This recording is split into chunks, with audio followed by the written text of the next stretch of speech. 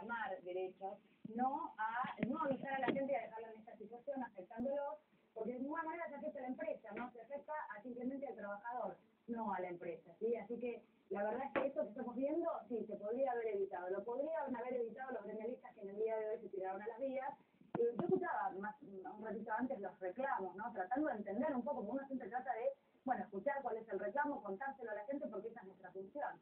Eh, trasladarlo simplemente, ¿no? Eh, no, no hay personas despedidas, no están reclamando por personas despedidas. Yo escuchaba que decían, no, no, bueno, pero, pero puede haber en algún momento, y la verdad que no es lo mismo, no es lo mismo. Vamos a escuchar, si quieren, eh, cuáles son los argumentos por los cuales en la mañana de hoy no está funcionando la línea C. Este paro puntualmente por la denuncia que nosotros hicimos con la concesionaria y en la Subsecretaría de Trabajo y hasta el día de la fecha no hemos tenido ningún tipo de respuesta.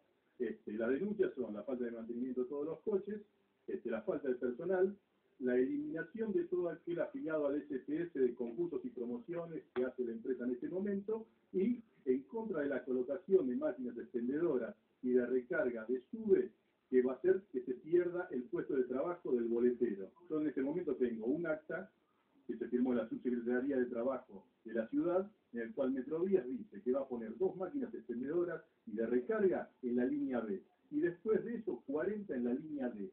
Entonces nosotros decimos, estos concursos de promociones es para sacarse a los boleteros y ponerlos en otros lugares. Y la vacante que queda en la boletería, poner máquinas expendedoras. Seguramente lo van a hacer en la B y en la D, porque son las dos líneas que tienen mayor caudal de pasajeros en ese sentido. Y entonces nosotros decimos que van a perder puestos de trabajo. El subte se va en expansión, en la línea H, en el resto de la línea, donde nosotros creemos que tiene que haber más fuentes de trabajo, no cambiar la fuente de trabajo por máquinas. Bien, ahí escuchábamos uno de los grevelistas, ¿no? No lo que falta- intentan ser aclarar esto, ¿no, Javier? Que por supuesto, si hubiera una persona que está a punto de ser despedida, nosotros estamos a favor de que se reclame para que así No, sea, ¿no? Eso está claro. Pero bueno, hay un montón de gente que está ahí esperando que no le avisaron cuando esos despidos no se efectuaron todavía. De hecho, ni siquiera en el acta figura que esas personas se van a despedir. Posiblemente estén reubicadas, ¿no? No lo sabemos. que el derecho de huelga no derechos de otros también, ¿eh? Y el derecho de los otros es de ir a trabajar, de poder este, desenvolverse y por supuesto transitar eh, eh, tranquilamente. Deberían haber avisado la jornada de ayer, aunque sea en horas de la noche, para que la gente estuviera atenta a ello. Bueno, volvemos allí a, a Constitución, a la zona de la parada de los colectivos, porque además ¿sabes cuál es el otro tema, Mercedes, eh, a ver, vos lo verás allí. Eh, si se hubiera avisado, se podría diagramar un refuerzo de servicios en las líneas de colectivos, ¿no? Exactamente, que es completamente en estos momentos aquí en las diferentes dársenas de lo que más se queja la gente, ¿no? Claro. Las largas filas que se generan. Miren ustedes la cantidad de gente que sale, no sé si llegan a ver ustedes, la cantidad de gente que sale de la estación de tren que debe ubicarse en las diferentes dársenas, que muchos de ellos, hablamos de miles y miles a esta hora de la mañana, normalmente ya van directamente al subterráneo un día normal. Por eso es que eh, en el día de hoy las largas filas que se generan es por toda esta cantidad que utilizaría el subterráneo, pero que en el día de hoy debe buscar vías alternativas. Estoy hablando de, eh, a ver, uno sabe que es ahora aquí en Constitución las filas de colectivos son bastante largas. En el día de hoy imaginen que son prácticamente el doble, el doble de lo normal. Eso es lo que nos explica la gente que llega hasta aquí, hasta, hasta Constitución todas las mañanas para llegar a su trabajo y que en el día de hoy ya se ve un poco más complicada. A ver si les parece, Javier Bañera, seguir dialogando con alguno de ellos. Perdón, ¿qué tal? Buen día, toda tapada la vemos. Señor, ¿usted tenía que llegar al trabajo en subte o normalmente toma colectivo? ¿Cómo? ¿Tenía que llegar al trabajo en subte o toma Siempre colectivo? me toco 28 y hoy es un caos, ¿Más caos de lo normal? es lo normal. Que de mayor cantidad de gente en la Sí, fila. no, totalmente. Pues son calculados más o menos el doble que lo normal, Ah, vamos, más del doble. vamos. ¿A qué hora tiene que llegar? A las 8. A cruzar los dedos, ¿o no? Llega Sí, sí. a correr un poquito. Eh, no, no hay drama, no hay drama. Gracias, ¿eh?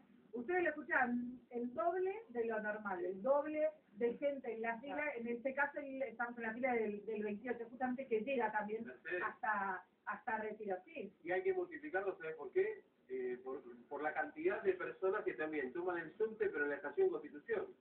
Porque si la- la- las dos terminales Exacto. tienen las terminales del subte C. ¿No es cierto? Es decir, eso también Claro, agrava en la aún más estación de la, acá. la situación porque no dan abajo los, los colectivos. Y de sorpresa, porque nadie salió con el doble de tiempo antes, ¿no? Para, como para prever estas largas filas, además. No, pues justamente nos está consultando una señora, no, señora, lo que no hay es subterráneos, informarle que hoy no hay subterráneos, por eso la cantidad de gente acá. Hay un, un paro por una cuestión gremial, aparentemente. Que es muchas veces lo que nos pasa, Javier Baena, justamente por eso le respondo mientras estamos Sí. al aire, porque eh, gente que no sabía, que no estaba al tanto, que por supuesto se enteraron en los últimos minutos respecto del paro de subterráneos, que nos vienen a preguntar a nosotros qué es lo que está pasando en el día de hoy, que eh, hay esta cantidad de gente en las diferentes dársenas. Nosotros estamos en una de las tres, cuatro dársenas que tiene aquí en Plaza Constitución, que se inauguraron hace muy poquito, y ustedes ven la cantidad de gente, no solo en esta, sino en las otras tres que se repite de la misma manera. Enormes cantidades de gente sobre la dársena justamente que sale desde la estación, que muchos de ellos, como decía Javier, desde las estaciones que aquí toman el subterráneo y que deben ubicarse en las diferentes líneas de colectivos. Salen muy llenos los colectivos allí donde estás vos, Mercedes, debido a la gran cantidad de gente. Repleto. Mira, acá justo está llegando, creo que es el 12, no, no digo leer bien. Sí, el 12, por los, los colores imagino que será el 12, pero miren la cantidad de gente que, que sube. Claro. Porque ya uno tiene que buscar no solo el colectivo que lo deja mejor, sino el que menor gente tenga para tratar de llegar a algún otro lado y de ahí tomarse otro colectivo. Repletos salen los colectivos aquí, repletos. El 168 todavía está esperando, cuando nosotros arrancamos la salida al aire, acababa de llegar y todavía está esperando a salir aquí, este que está aquí enfrente del, adelante del 12. A olvidarse de, de viajar sentado, ¿no? No, bueno, Hoy no. de Hoy ninguna menos. manera. No, hoy menos. Más, más lunes que nunca sería en el día de hoy, porque la realidad es que justamente lo que les explicaba recién, mucha gente que nos viene a preguntar a nosotros qué es lo que pasa hoy que hay tanta cantidad de gente. Normalmente, insisto, pues en Constitución hay, es- yo diría que de los centros donde mayor cantidad de gente hay justamente de la capital federal, no así de otros lugares, pero de la capital federal para llegar a los diferentes puestos de trabajo, enorme cantidad de gente que llega desde el sur hasta aquí, no solo en tren, sino también en otras líneas de colectivos que llegan hasta aquí, hasta Constitución. Muchos de ellos se eligen el subterráneo, eh, la realidad creo que son cerca de 300.000 personas que salen solo a la mañana desde Constitución, por lo menos esa era la cifra hace un par de años, imaginamos que debe repetir también en el día de hoy. Pero ustedes entonces, esta es la situación aquí en una de las dársenas de Constitución. Bueno, afortunadamente no hace tanto frío. Decimos esto porque la temperatura está en 9 grados. Eso mismo, con 12 grados como teníamos las últimas mañanas, ¿no? La semana pasada, eh, realmente se hace mucho más insoportable, ¿no? Porque la gente también se empieza a poner nerviosa, eh, a pasarla mal, esperando, ya sabe que va a llegar tarde a su trabajo. Muchos están con chicos, recién veíamos ahí, no sé, eh, bueno, con los chicos hiperabrigados. Por lo menos, ¿no? En el día de hoy la temperatura parece no tener a la gente tan, no sé cuál es su supuesto, se, nota menos la, que ha subido la temperatura respecto de los primeros días de la semana pasada. Recuerden, el lunes pasado llorábamos directamente del frío, hoy se nota, la realidad que ayuda un poco estos 9 grados, sería bastante peor la situación en estos momentos.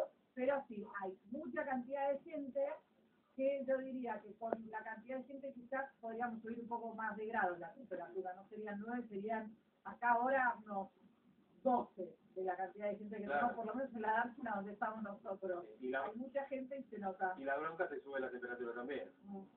Por no decir calentura que queda Exacto, la mujer que veíamos antes, ¿no? Que decía, sí, pasa que no puedo llegar a mi trabajo, nosotros los encargados de informar en este momento, ¿no? Una mujer que normalmente llega hasta acá cerca de las 7 de la mañana y que el día de hoy ya sale con esa cantidad de minutos de retraso desde aquí, desde Constitución. Bien. Pues mira, el comunicado de Metrovías que dice que no ha iniciado su servicio debido a la presencia de personas ajenas a la operación en la zona de vías, dice el mismo tiene su origen en el bloqueo de vías llevado adelante por un grupo de 30 personas que impiden la normal prestación del servicio, liderado por un ex empleado, con la finalidad de establecerse como una nueva representación gremial. Bueno, esto hay que aclararlo, y ahora y ahí lo seguimos leyendo, ¿no? Uno de los gremialistas en la mañana de hoy decía, no, no hay ningún ex empleado en las personas que están cortando, respondiendo justamente a este comunicado, ¿no? Nosotros la verdad que no podemos ahora...